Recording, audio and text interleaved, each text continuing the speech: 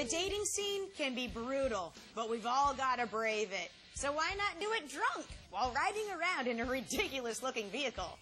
Hey, what's the big idea? See that double decker bus? It's not in London, it's in Phoenix, Arizona. We, uh, we had to drive it up to Liverpool, put it on a ship, across the Atlantic Ocean, um, through the Panama Canal, up the uh, Pacific Ocean into Port Hueneme, Los Angeles, from Los Angeles down to San Diego, over mountains, desert, uh, into Phoenix. I mean, it was 7,000 miles and took nine months, and uh, it was very emotional. That's crazy. And why do people do crazy stuff?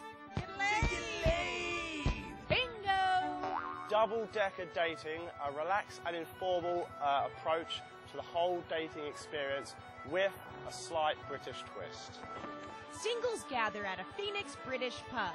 The dames board the double decker first and pick a seat.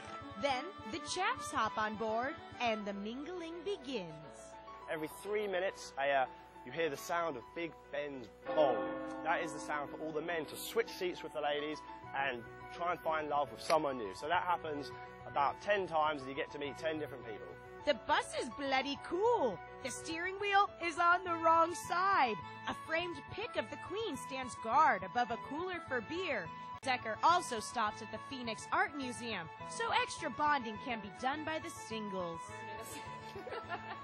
Yeah, last week's event we had uh, a few couples actually hook up. Um, one couple was seen sort of walking off hand in hand, and one couple, uh, I don't know if they knew each other beforehand, but they ended up in the toilets in the bar upstairs. You, you, ne- you never know what might happen on a double-decker dating.